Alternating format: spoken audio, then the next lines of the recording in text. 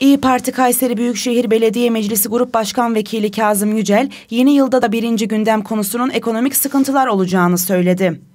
2021 yılına başladığımız ilk günleri hatırlıyorum. Sanki 2021 yılının baharında bu Covid bitecek, bu kurallar kalkacak diye düşünmüştük. Tabii asıl e, insanın önemsediği konulardan bir tanesi sağlıktır. Sağlıkla birlikte bütün kurallar neredeyse rafa kaldırıldı. Türkiye'de özellikle Kayseri'de ulaşımda veya sokaklarda dikkatsiz bir yaşam ortaya kondu. Belediyenin hiçbir tedbirinin olmadığını gördük. Ulaşımda dışarıda maskelerle dolaşan insanların toplu taşıma araçlarında yığınla içeride olduğunu gördük. Ee, bununla birlikte ticari krizlerin olduğu bir dönem yaşadık. 2021 yılı hem Türkiye'de hem dünyada bir kriz vardı. Bu krizde biz hiçbir zaman hükümetin karşısına çıkıp ortalığı ayağa kaldıran açıklamalar yapmadık. Birleştirici, toplumu yan yana safta en azından hükümetinin yanında toplumda barış içerisinde olması için çağrılarda bulunduk. Sadece uyarılarda bulunduk. Bu ticaretin 2020 yılı, içerisinde yaşadığımız belki de daha önceki hayatımda karşılaşmadığım kadar çok ağır şartlar ortaya koydu. Örneğin döviz 7300 liradan 18 bin liraya kadar çıktı. Tabii ki burada dövizi maaşla e, maaşınız dövizle mi alıyorsunuz diyen bakana kadar karşılaştık. Belki dövizle maaşımızı almadık ama ithal edilen ürünleri dövizle aldık.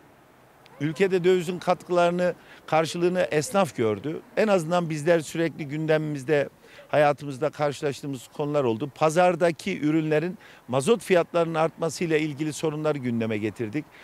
Ee, şuna emin olun biz siyasi parti olarak, iyi Parti olarak asla ortalığı karıştıracak açıklamalardan uzak kaldık.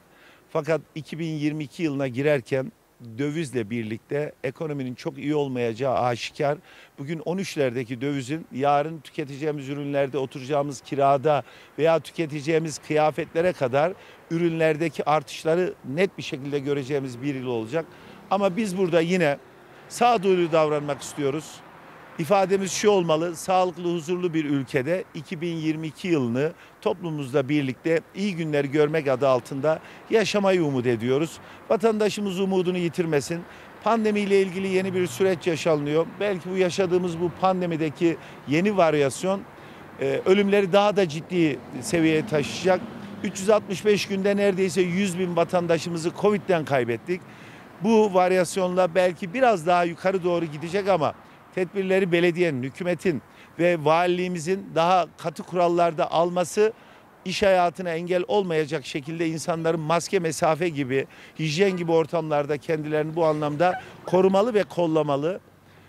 2022 yılının ülkemize, şehrimize hayırlar getirmesini, sağlık getirmesini, inşallah güzel bir iş ortamı getirmesini hem özledik, hem bekliyoruz, hem de siyasi parti olarak sandık önümüze geldiğinde bunu da hemşerilerimize, ülkemize yaşatacağımızı söylemek istiyorum.